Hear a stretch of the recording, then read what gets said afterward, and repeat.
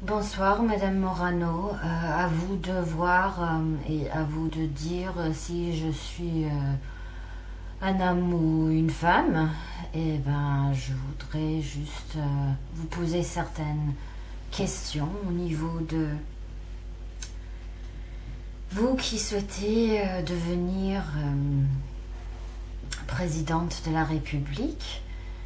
Ben, vous avez peur de quoi exactement? C'est euh, le voile intégral?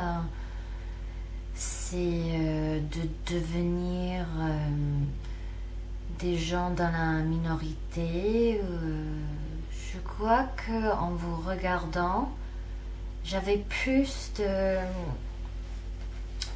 de j'avais plus de j'avais plus un, sens de, vos peurs hein, qui, qui étaient communiquées. Et, pas du tout euh, une vision.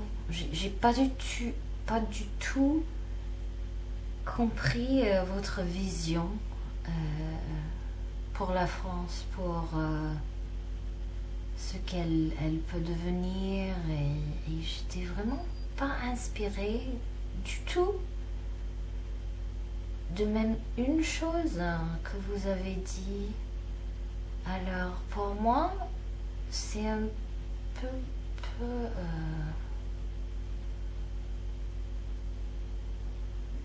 même beaucoup triste, très triste.